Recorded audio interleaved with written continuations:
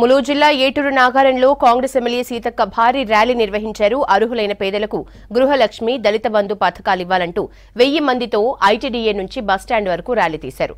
తర్వాత అంబేద్కర్ విగ్రహానికి పూలమాల వేసి నివాళులర్పించారు. ప్రభుత్వం ఇచ్చిన హామీలను వెంటనే అమలు చేయాలని డిమాండ్ చేశారు సీతక్క. పంచాయతీ సమక్షంలో మరి నిర్ణయించుండంటే ఇవాళ కొండ ఊరు మొత్తం మునిగింది. ఆడ దళితులకు ఒక్కరికి కూడా ఇల్లు రాయలే. ఇవాళ నేను ప్రశ్నించిన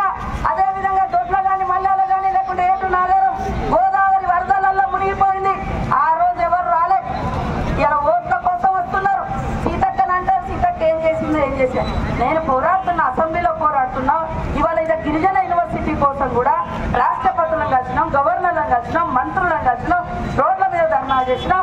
తొమ్మిదేళ్ళ తర్వాత ఇన్ని రోజులకు తొమ్మిది కోట్లు గుర్తుకొచ్చింది. ఆ యూనివర్సిటీ కూడా అప్పుడే సోనియం ఇచ్చింది. రాష్ట్రం విడిపోయేటప్పుడు తెలంగాణ బిడ్డలకు ఆంధ్ర పోటీ తెలంగాణ పోటీ ఇస్తే ఆంధ్రలో ఎప్పుడో యూనివర్సిటీ నడుస్తుంది. ఇక్కడ ఇంతవరకు సంతానలేమి సమస్యతో బాధపడుతున్నారా? చింతించకండి. సుమారు తొంభై వేల జంటలకు ఆనందం నింపింది ఓఎస్ఎస్ ఫర్టిలిటీ ఈ రోజే seven eight two five eight nine three six double నైన్కి కాల్ చేయండి. సంతానోత్పత్తి చికిత్సపై భారీ డిస్కౌంట్లు పొందండి. గుడ్ న్యూస్ చెప్పండి. కాబట్టి మీరందరూ కూడా ఆలోచించండి. మరి కష్టం వచ్చినప్పుడు వచ్చే సీతక్కను కేవలం అప్పుడు చచ్చిపోతుంది కూర్చేస్తుంది లేకుంటే అన్నిటి కొత్తది ఏదో చేస్తుంది. ఆమె ఏం చేస్తుంది? అధికారంలో లేదు కదా. మరి అధికారంలో ఉన్న ఈ నాయకులు ఇన్నెల్